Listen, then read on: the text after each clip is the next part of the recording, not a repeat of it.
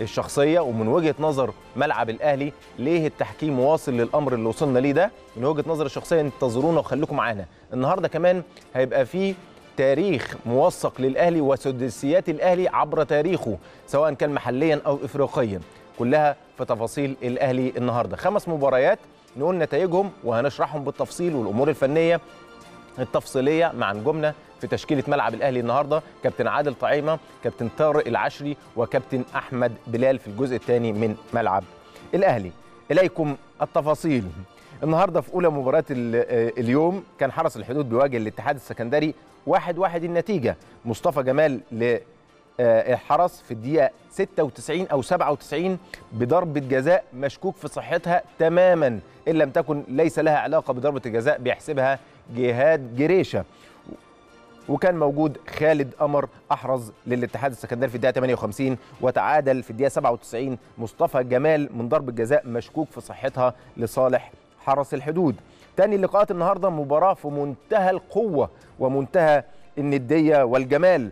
جمعت ما بين الإنتاج الحربي وبتروجيت 2-1 لصالح الإنتاج الحربي وتفوق لمختار مختار كل الناس عظيم سلام لمختار مختار بالإمكانيات اللي معاه والقدرات اللي معاه والأمور اللي تكاد تكون مش كبيرة قوي في عالم كرة القدم بيتصدر الدوري بعد الأسبوع السادس في غياب الأهلي 2-1 عن طريق محمود كابونجا ومحمد رجب بعد ما كان متأخر 1-0 التعا أو الهدف جاء في الدقيقة 59 لبتروجيت عن طريق محمد فييرا وتعادل كابونجا بعد نزوله بدقيقتين أو ثلاثة في الدقيقة 85 وأضاف محمد رجب الهدف الثاني في الدقيقة 92 المقاولين بيحقق فوز غالي ومستحق على سموحة 2-1 عن طريق هداف الدوري أحمد علي في الدقيقة 34 والدقيقة 59 ويوصل أحمد علي للهدف رقم خمسة بالنسبة له ويتصدر بقائمة هدافي الدوري برصيد خمس أهداف.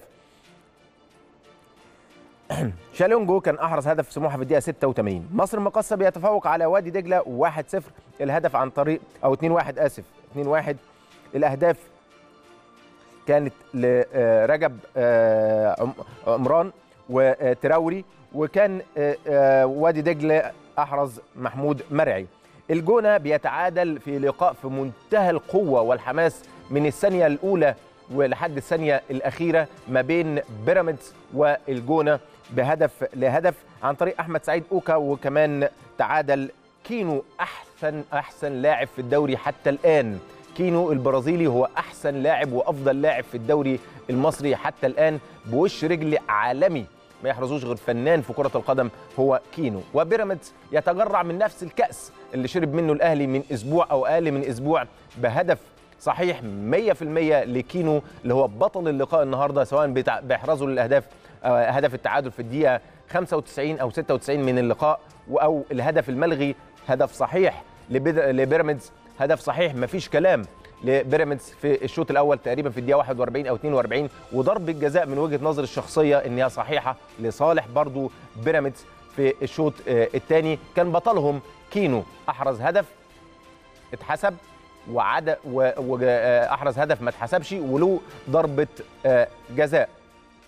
تعادل بيراميدز بهدف لهدف وكان له احقيه في ضرب جزاء وله احقيه في هدف صحيح 100% ويشرب من نفس الكاس اللي شرب منه الأهلي كمتصدر للمجموعة مع الأهلي أو تصدر للدوري مع الأهلي ويبقى الزمالك منفردا بلا أخطاء تحكيمية حتى الآن لكن كل الناس اللي بتنافس على المقدمة سواء كان الأهلي أو. أو بيراميدز أو حتى الإنتاج الحربي رغم إن تعرض الإنتاج الحربي ل أو تعرض الأهلي لاخطاء تحكيمية فادحة في مباراة الإنتاج الحربي أدت للتعادل 0 0 دي كانت نتائج النهارده في اليوم الثاني في الأسبوع السادس.